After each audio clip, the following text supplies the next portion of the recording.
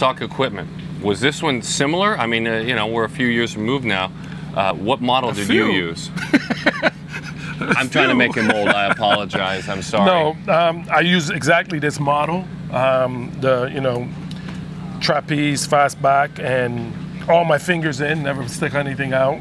And basically, you know, it's 12 and three quarters, and it's, it's pretty much the same model they've been making for years. The gloves that I played with, I played with it for 17 years in the big leagues, and I, I still have that glove, and I oil it, grease it up, and it's not cracking. So, Wait, wait. yes, You used the same glove? for 17 years in the big leagues. Oh my goodness. Yes, I just got it patched up and, and taken care of. And of course, I got a backup, which is 16 years. right. But um, pretty much, they make a great leather.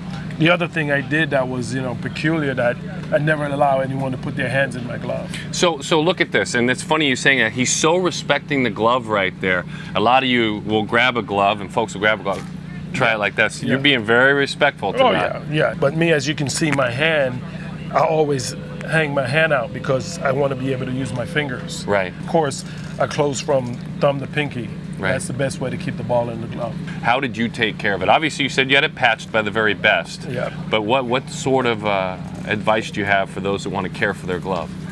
Well, um, I don't want to give that away. no, but I, I- I'll tell you guys on camera. I, I use saddle soap. Okay. I use saddle soap, and I only did it at the end of the year. Okay. And basically, I leave a ball in it at all time.